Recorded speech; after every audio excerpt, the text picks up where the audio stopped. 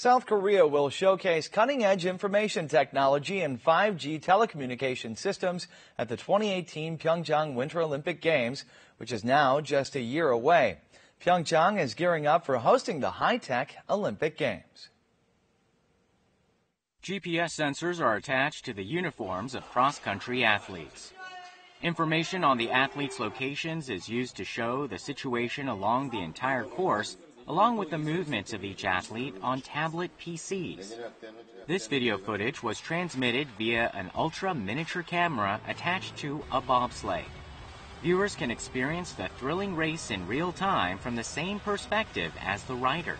일방적으로 제공되는 서비스만을 사용자가 보아왔다면 앞으로는 사용자가 보고 싶은 것들을 골라서 in order to enjoy these services, super high-speed telecommunications technology capable of downloading a full-length movie in a second will be essential. This pilot 5G telecommunication technology will be introduced at the Pyeongchang Winter Olympic Games next year for the first time in the world. The establishment of the 5G network will make real-time hologram communications possible.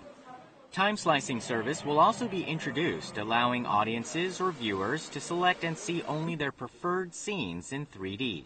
주최국이 돈 버는 올림픽이 돼야 되겠다. 이 ICT 올림픽을 그 지원하는 첫 번째 이유가. Other cutting-edge services include self-driving vehicles, autonomous translation services, and artificial intelligence. With its opening just a year away, the Pyeongchang Winter Olympic Games will likely serve as an occasion to showcase services and technologies representing the fourth industrial revolution.